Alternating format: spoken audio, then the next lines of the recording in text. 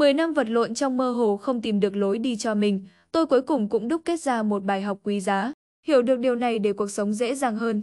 Dưới đây là cách mà tôi dùng 10 năm đằng đẵng để tìm ra sở trường và công việc mà mình yêu thích, từ đó lên kế hoạch cho cuộc sống của mình. Có một câu nói thế này, người trẻ phải làm những việc có ý nghĩa cho tương lai của mình. Chúng ta hiểu câu nói này nhưng lại mơ hồ không biết nên làm thế nào cho đúng, không biết cách đặt ra mục tiêu cho cuộc sống của mình. Vì thế tôi hy vọng có thể dùng chút kinh nghiệm ít ỏi của bản thân giúp đỡ những người trẻ muốn thay đổi cuộc sống nhưng đang lạc trong mơ hồ chưa tìm được lối đi đúng đắn. Đầu tiên, hãy dùng 3 phút để tạo cho mình một kế hoạch nghề nghiệp lý tưởng. Thứ nhất, bạn hãy suy nghĩ xem sở trường và năng lực của bạn là gì. Đây không phải là một nghề nghiệp, một công việc mà là năng lực, ví dụ tính toán, giao tiếp, tư duy logic, viết lách, tạo ra ý tưởng, vi, vi.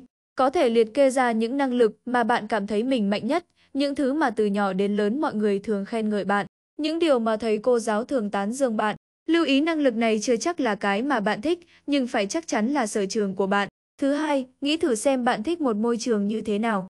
Môi trường này có thể rộng một chút, ví dụ yên tĩnh một mình, sôi động và đầy không khí làm việc, môi trường chuyên nghiệp mọi người đều thắt cà vạt. Thứ mà bạn thật sự yêu thích không phải là công việc mà là môi trường làm việc, nơi mà bạn có thể cảm thấy thoải mái, thỏa mãn, thân thuộc và có cảm giác thành tựu. Thứ ba, thay vì viết ra một cơ hội nghề nghiệp cuối cùng, hãy tìm điểm chung của phần thứ nhất và thứ hai. Mục đích là để xem thử với những điều bạn đã liệt kê bên trên thì sẽ có những nghề nào phù hợp, tôi gọi những nghề này là nghề chính, tức là nghề bạn phải làm hàng ngày. Tiếp theo, sau khi đã có những hiểu biết nhất định về nghề chính, bạn có thể viết ra những cơ hội việc làm mà bạn cảm thấy có khả năng. Cơ hội này là xu hướng bạn đã thấy, những thứ bạn đã quan sát, kết hợp tất cả lại với nhau, nó sẽ trở thành nghề tạm thời hoặc cơ hội để bạn kiếm thu nhập. Cuối cùng, khi thu nhập của bạn đạt đến một cột mốc nhất định, có thể tự do tài chính mà không cần lo nghĩ đến kế sinh nhai. Lúc này bạn có thể suy nghĩ về nghề yêu thích, có thể hiểu đây là nghề không đạt thu nhập lên hàng đầu. Nó thường là những công việc có tính cơ hội và đầy thử thách trong môi trường mà bạn yêu thích. Dù bạn bắt đầu từ nghề chính, nghề tạm thời hay nghề yêu thích, nếu tương lai bạn đạt được cả ba điều này thì chúc mừng, bạn đã tìm thấy sự nghiệp của mình. Sự nghiệp là thứ khiến bạn phải làm việc, nỗ lực hết mình nhưng lại vui vẻ khi làm nó, có thu nhập tốt và cơ hội phát triển rộng mở. Nó đòi hỏi bạn đầu tiên phải yêu thích, sau đó phải quen thuộc và làm nhuần nhuyễn, hơn hết là công việc này phải có cơ hội tốt hoặc một tương lai rõ ràng thì mới có thể kiếm được tiền. Từ đó giúp bản thân thỏa mãn trong cả hai phương diện tiền tài và thành tựu.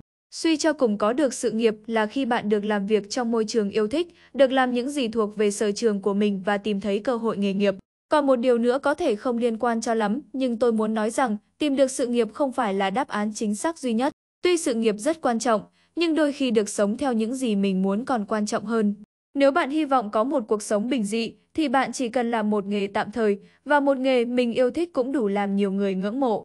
Vì bạn có thể quyết định lịch trình của mình bất cứ lúc nào. Thậm chí có rất nhiều bạn trẻ muốn giống như bố mẹ mình làm một công việc ổn định, lương thấp nhưng đủ chi tiêu trong gia đình. Sống một cuộc đời bình dị, điều này cũng rất tốt, không có nhiều áp lực và phiền não. Mỗi người đều có mục tiêu sống của riêng mình, thay đổi cuộc sống không bao giờ là muộn, không có đúng sai tuyệt đối. Chỉ cần thuận theo ý mình, sống một cuộc sống mà mình mong muốn, đừng quan tâm tới giá trị quan và ý kiến của người khác. Theo phương diện nào đó đây cũng là một loại hoạch định cuộc sống thành công, vì thế hãy sống theo cách mà mình muốn.